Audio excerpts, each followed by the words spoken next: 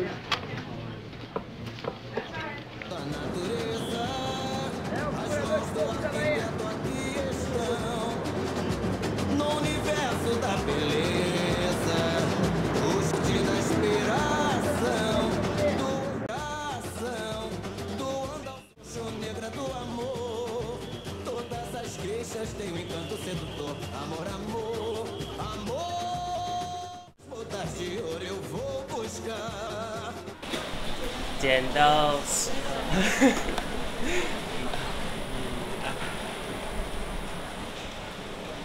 剪刀石，剪刀石，剪刀石头，剪刀，剪刀石头布，剪刀石头布。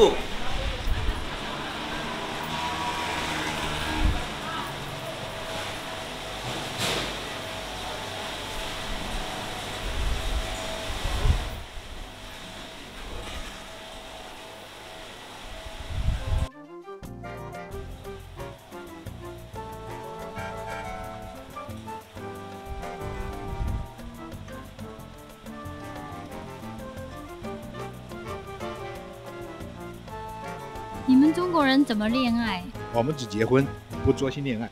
没意思。好极了，我要去中国。高兴什么？到中国你也嫁不出去。你看中国人会不会要我？让我看看。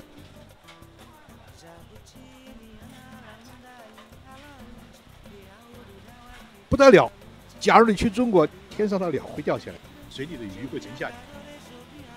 中国人在我们巴西是不允许别人说老实话的，尤其是在狂欢节。我说了什么难听的话？我真是那么可怕，连天上的鸟都被杀死了。你要知道，我们中国人是最喜欢用比喻的民族哦。我听得懂，鸟当然不是真的掉下来，你比喻的很好。完全想错了，这是恭维美女的话。中国人用了几千年，只有真正的美女才够资格用这句话来比喻。你不相信，去问别的中国人。我相信，中国美女一定长得很可怕，所以你被吓得跑到巴西来。中国古代有个美女，美得天上的鸟儿见了都会晕头转向，掉在地下；而水里的鱼儿见了她，也惭愧不已，悄悄地躲进水里。你不觉得很美吗？